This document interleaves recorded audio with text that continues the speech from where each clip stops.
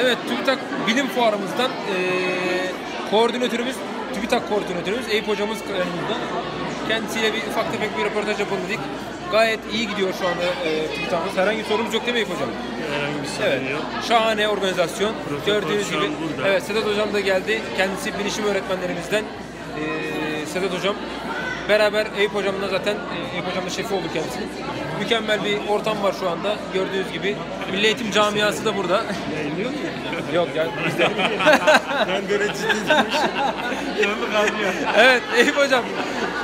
Görüşürüz. Hadi hayırlı günler.